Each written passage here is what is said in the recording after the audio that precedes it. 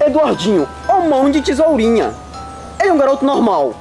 Se não fosse as tesouras em sua mão.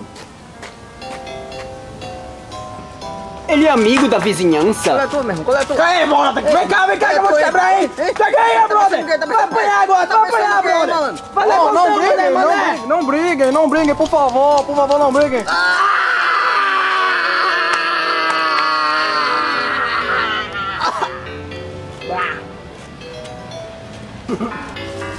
Ele é prestativo com estranhos.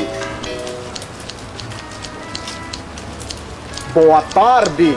Eu gostaria de uma informação. Onde fica a Avenida Penetração?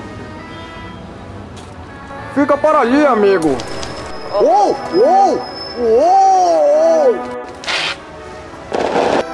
Mas nem tudo é um mar de rosa na vida de Eduardinho, mão de tesourinha. Na hora de suas necessidades, ele se atrapalha.